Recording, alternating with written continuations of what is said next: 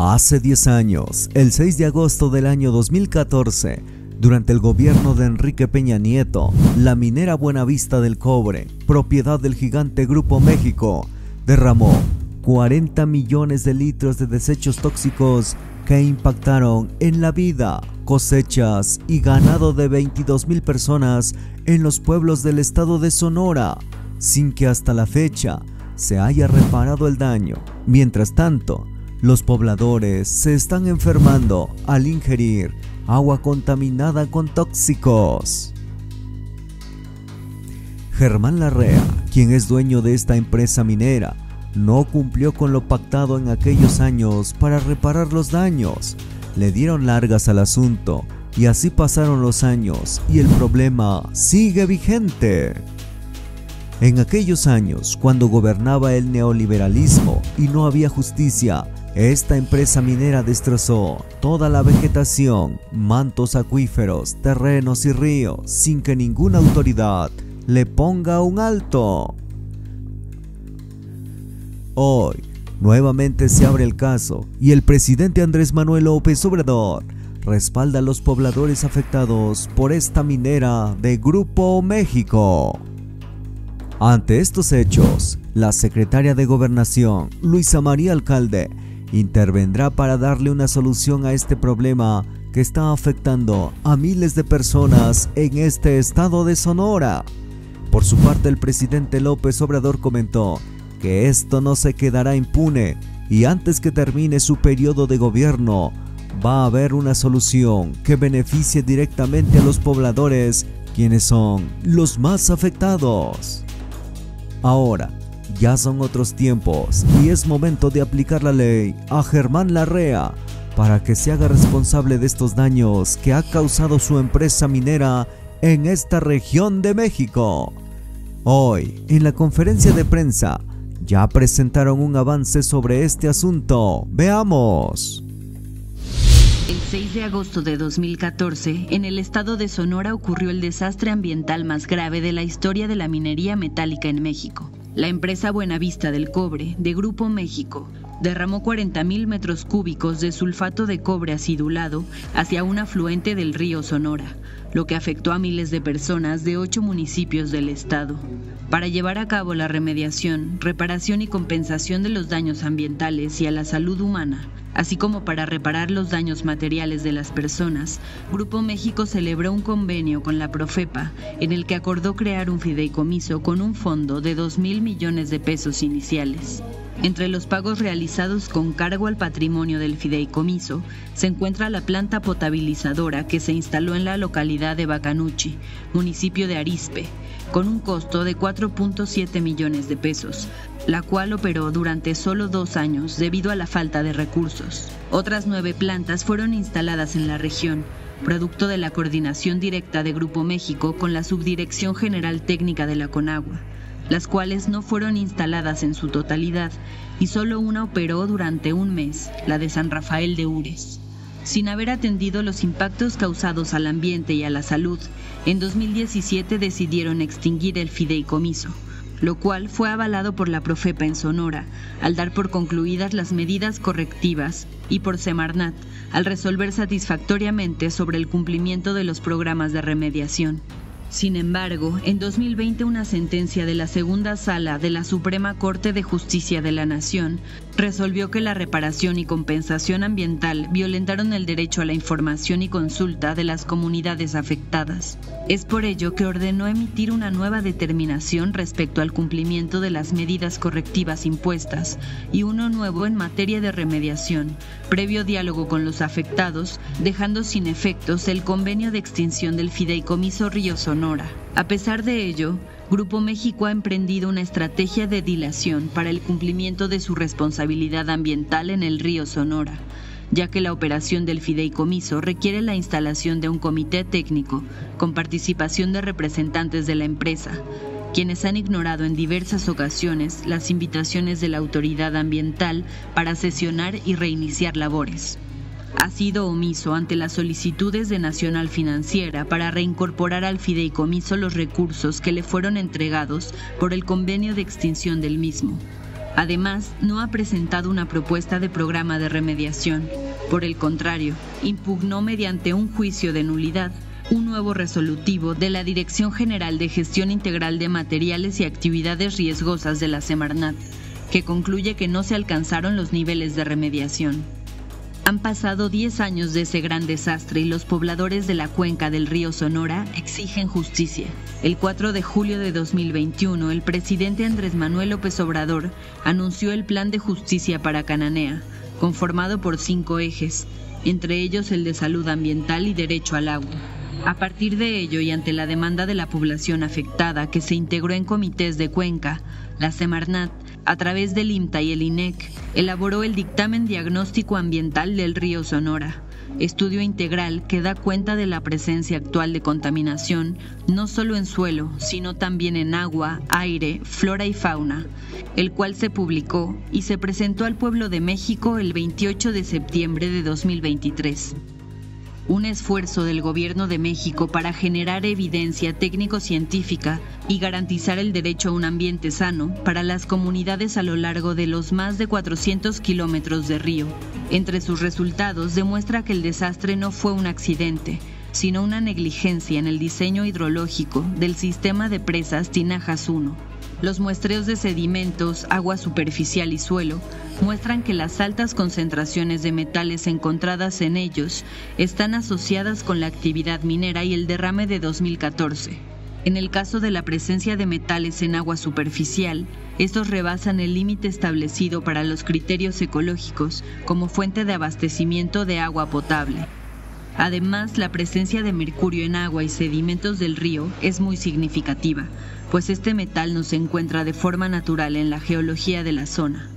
Se presentan resultados relacionados con daños en artrópodos y específicamente polinizadores, que reflejan cómo se pierde la biodiversidad conforme se reduce la distancia con respecto al sitio del derrame y el polígono de la mina. De las 10 plantas potabilizadoras que Grupo México se había comprometido a instalar, el gobierno de México acordó la rehabilitación de seis fijas y con apoyo del IMTA, preparó los términos de referencia para los proyectos ejecutivos para la construcción de cuatro plantas nuevas en Huepac, Aconchi, Baviácora y Arispe, por parte del Estado de Sonora, que también asumió el compromiso de pagar la energía eléctrica y su operación durante un año. Las seis plantas rehabilitadas gracias a la colaboración de la Comisión Estatal del Agua de Sonora y el Instituto Mexicano de Tecnología del Agua son las de Mazocahui, La Capilla, Banamichi, San Felipe de Jesús, Bacanuchi y San Rafael de Ures. La primera planta en funcionar fue la de San Rafael de Ures, a cargo del INTA e inició actividades el 1 de abril de 2023 bajo la operación de la comunidad previamente capacitada por dicho instituto. La rehabilitación de las otras cinco plantas fue responsabilidad del gobierno de Sonora y comenzaron funciones en los primeros meses de 2024. La actual Semarnat no acepta que se remedió el daño ambiental que causó Grupo México. El derrame no fue un accidente, el gobierno de la República se debe al pueblo y a las comunidades de la cuenca del río Sonora y continuará el trabajo y el diálogo hasta lograr justicia social y ambiental en la región. Bueno, vamos el día de hoy a informarles sobre eh, la contaminación del río Sonora.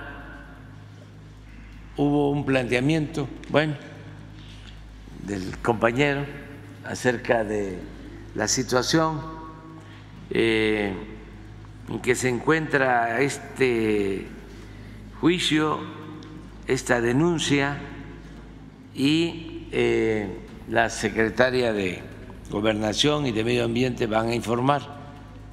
En eso quedamos. También este, ya se tiene toda la información sobre la presa de San Luis Potosí, lo del realito, pero eh, más tarde se va a entregar ya un informe que preparó la Comisión del Agua y se les va a entregar a ustedes. Vamos. Este,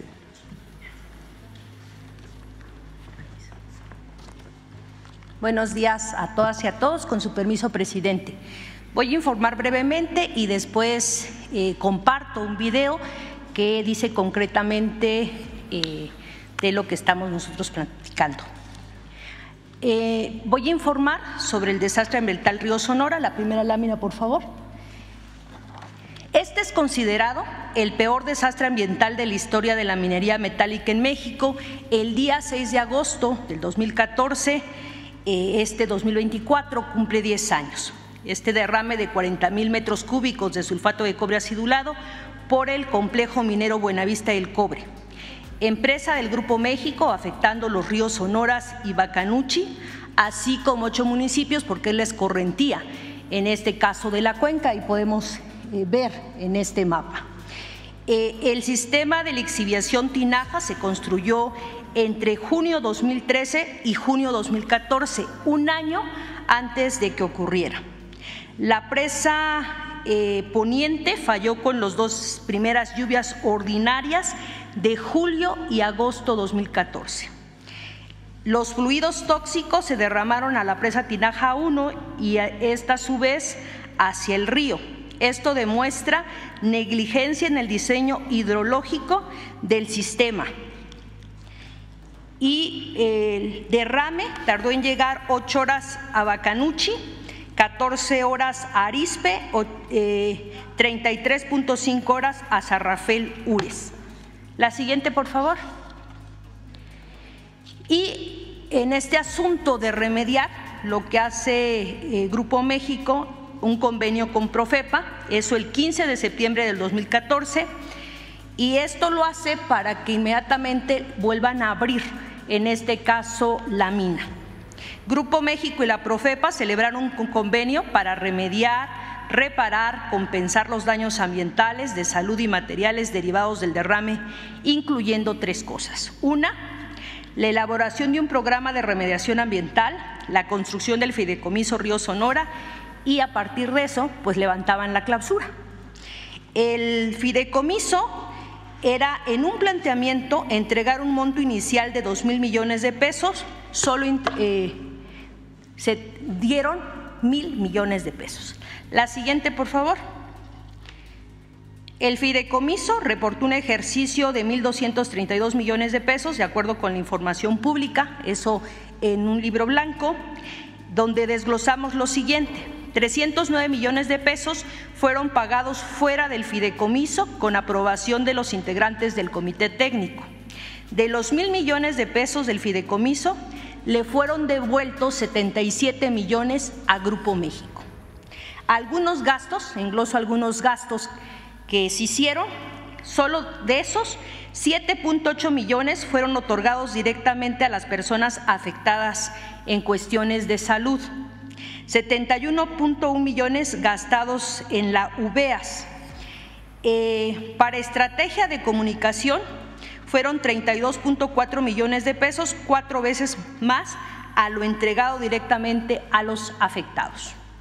185 millones de pesos en compra de tinacos. 4.7 millones de pesos en una planta potabilizadora en Bacanuchi que solo operó dos años hasta el 2017. La siguiente, por favor. Y después eh, deciden cerrar el fideicomiso, en este sentido también las autoridades ambientales competentes. El primero de diciembre del 2016, la Semanrat resolvió satisfactoriamente sobre el cumplimiento de los programas de remediación. El 31 de enero del 2017, la Profepa tuvo por cumplidas las medidas correctivas impuestas y determinó que los fines del fideicomiso habían sido cumplidos. El 7 de febrero del 2017 se da la extinción del fideicomiso Río Sonora y revisión del remanente. Por eso esos 77 millones les es devuelto a Grupo México. El 15 de enero del 2020, la segunda sala de la Suprema Corte de Justicia de la Nación ordena emitir nuevas determinaciones sobre remediación y medidas correctivas. Y eso se lo envía directamente a las autoridades ambientales, a la Semarnat en este caso, también a Profepa y a las autoridades que llevan cuestiones de salud, como la Secretaría de Salud y COFEPRIS.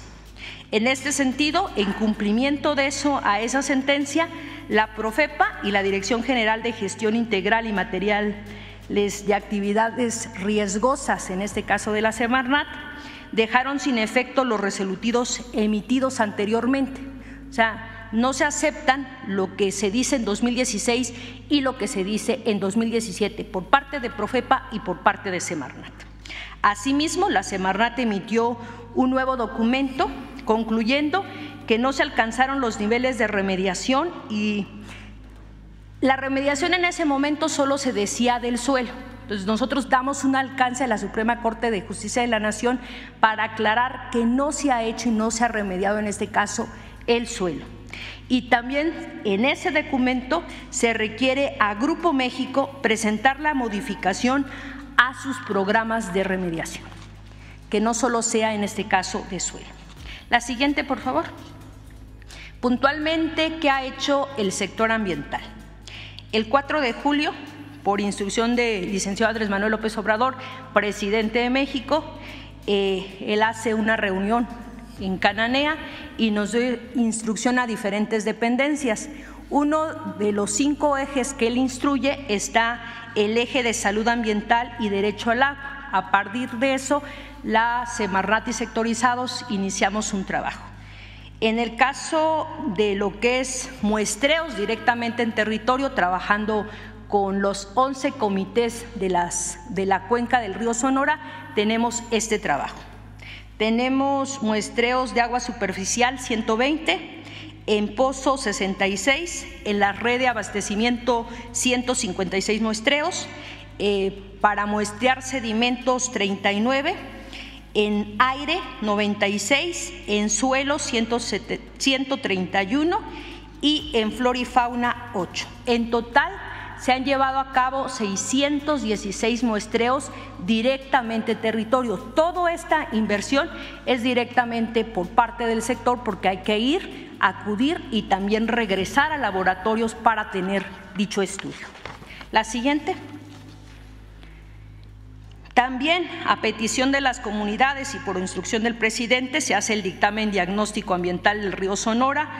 Eh, es elaborado por el Instituto Mexicano de Tecnologías del Agua, todo lo que es respecto al agua y todo lo que eh, es respecto a lo que es aire, suelo y biota, que es flora y fauna, por parte del INEC y el Instituto Nacional de Ecología y Cambio Climáticos, ocupando también los dos laboratorios que están certificados, del IMTA y del INEC.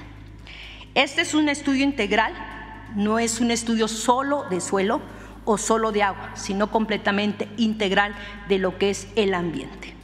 Y acá, pues, en esto tenemos lo siguiente. El 28 de septiembre se presenta al pueblo de México, se sube el link que vemos ahí y ahí lo pueden ustedes consultar.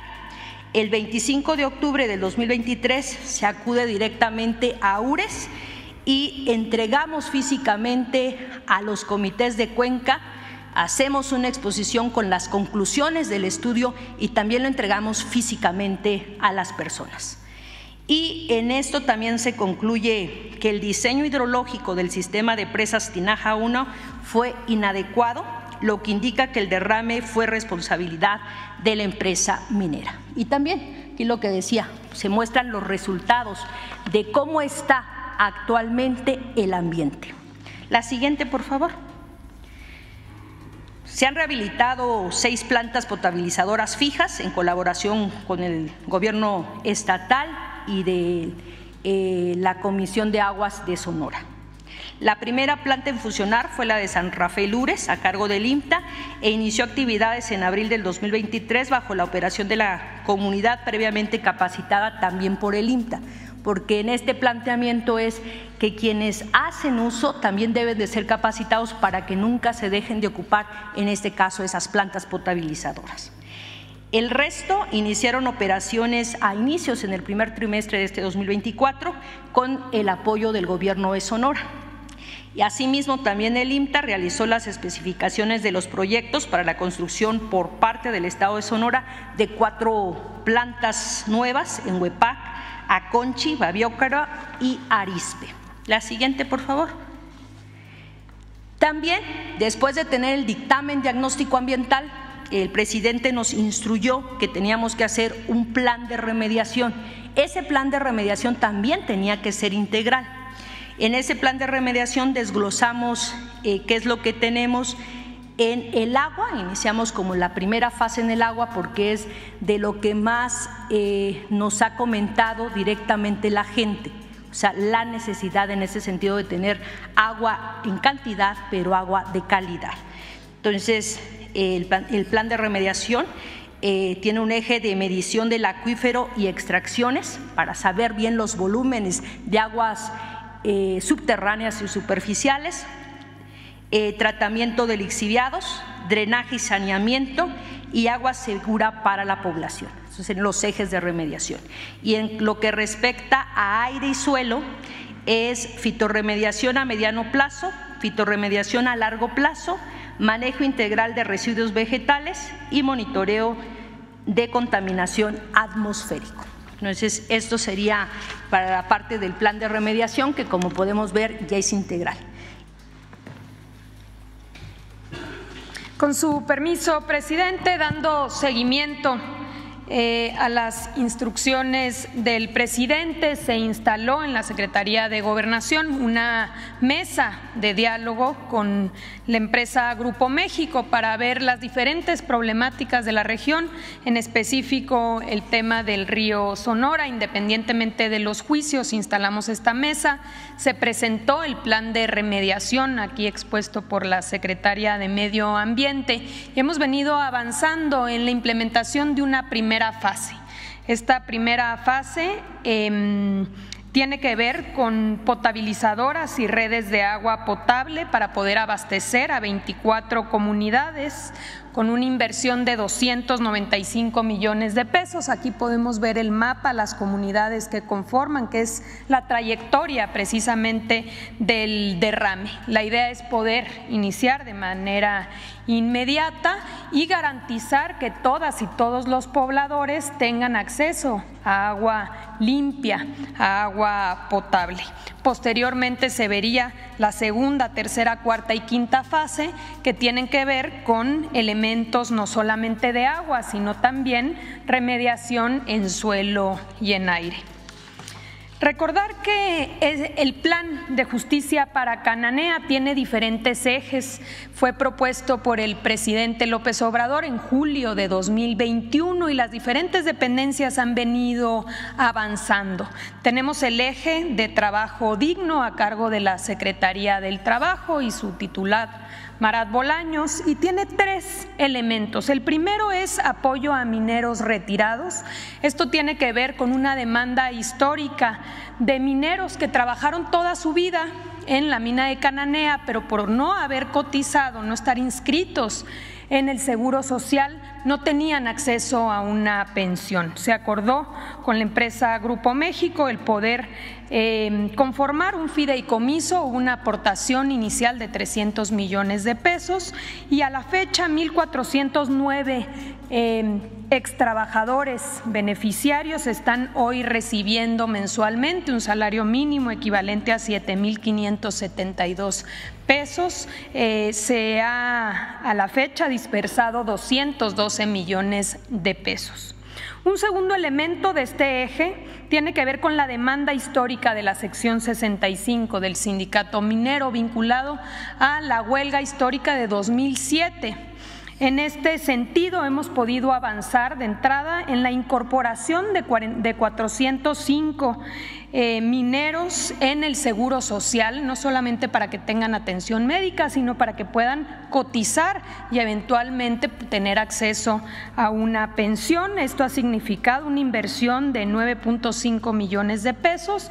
Y lo más importante aquí es que se continúa un diálogo con la empresa Grupo México para poder llegar a un plan eh, que permita reivindicar esta lucha histórica de más de 800 trabajadores. Y finalmente un tercer elemento que está vinculado con juicios de 3.800 trabajadores que han demandado el 5% de las acciones que se vendieron en su momento de la empresa y este, en este caso está pendiente de resolverse en la Suprema Corte de Justicia de la Nación.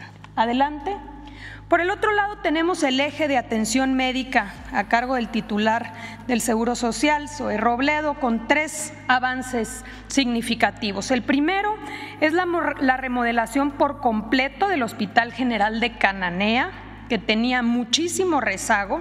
Aquí no solamente se remodeló, sino que hubo una contratación de médicas y médicos especialistas que faltaban en la región y que hoy ya se encuentra completa la, plantilla y tiene la posibilidad de atender las demandas del municipio.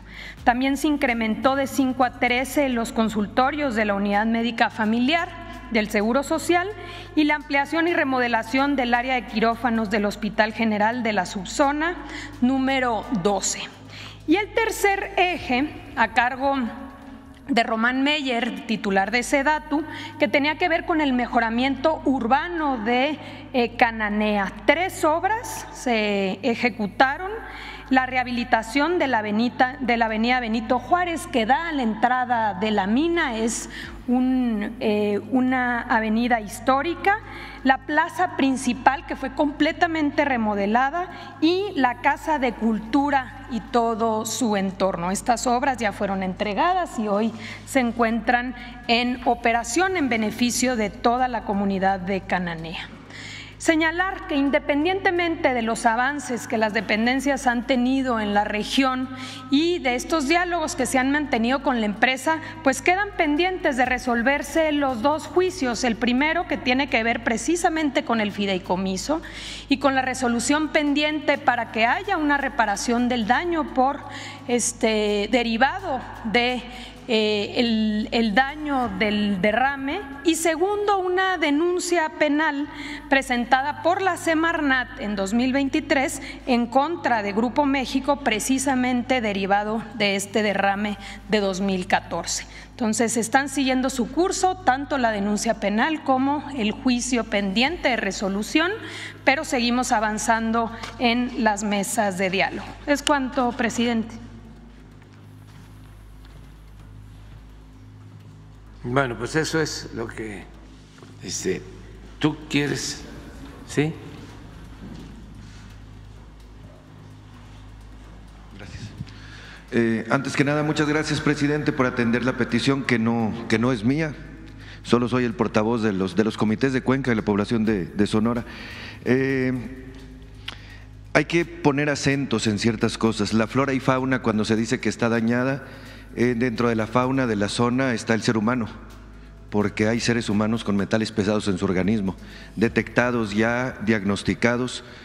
Hace años, cuando estábamos viendo este asunto, me explicó alguien que la diferencia entre los metales pesados y los metales blandos es que los metales pesados son bioacumulables. ¿Qué quiere decir esto? Que el organismo no los desecha. Eso quiere decir que cada ves que uno ingiere otro metal, otra cantidad de metal pesado, se acumula la que adquirió hace años incluso, y esto puede provocar problemas graves en la salud. Así que de esta parte faltó algún informe más detallado que ojalá en algún momento lo den, de la población dañada por metales pesados.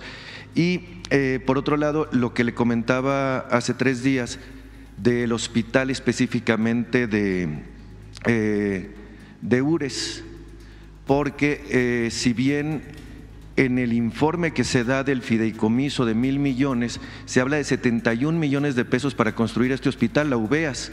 Sin embargo, cualquiera de ustedes que pueda ir a URES, lo que va a ver es la obra negra. Ese hospital no ha sido terminado.